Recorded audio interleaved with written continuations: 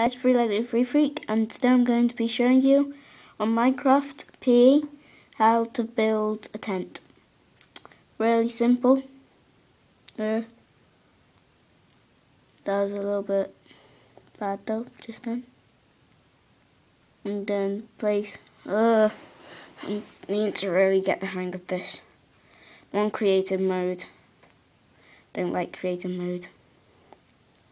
I really like survival there then you can build it as big as you want. I'm gonna make a normal sized one. You'll get whiter wool. That's your tent. You will get whiter wool in the prop one. And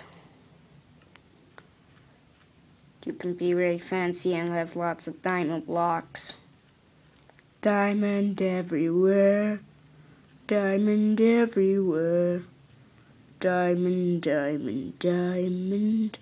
Let's see how long obsidian takes to mine. Yeah.